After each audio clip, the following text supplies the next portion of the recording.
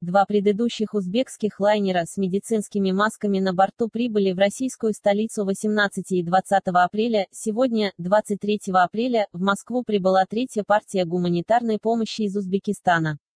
В Москве лайнер приземлился в аэропорту Внуково. Напомним, первую партию гуманитарной помощи от правительства Узбекистана российская столица получила 18 апреля.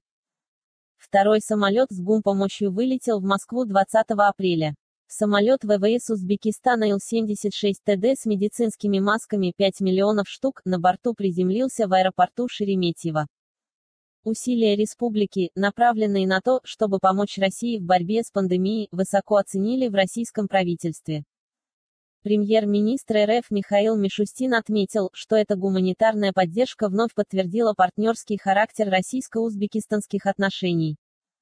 Между тем Россия также активно помогает республике справиться с пандемией.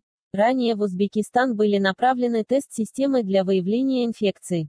Также по видеосвязи проводятся постоянные консультации специалистов-эпидемиологов из РФ. По последним данным, в Узбекистане зафиксировано 1716 случаев заражения COVID-19, 7 граждан скончались, 486 выздоровели и были отправлены на реабилитацию. В России, тем временем, число инфицированных уже превысило 62 тысячи, выздоровели, свыше 4,8 тысячи граждан, умерли, 555.